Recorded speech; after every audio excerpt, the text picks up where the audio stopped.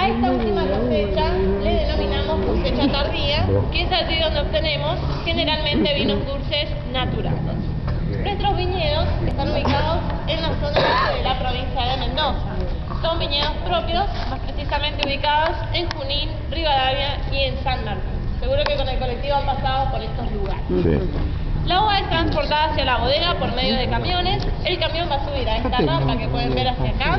Esa rampa gira y eleva al camión para que vuelque su contenido, que siempre va a ser de un solo tipo de uva, aquí en estas piletas especiales que se llaman lagares.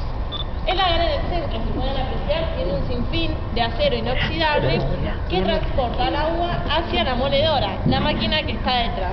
Y la moledora se encarga de separar el escobajo, que es el palito, el esqueleto de la del resto del grano.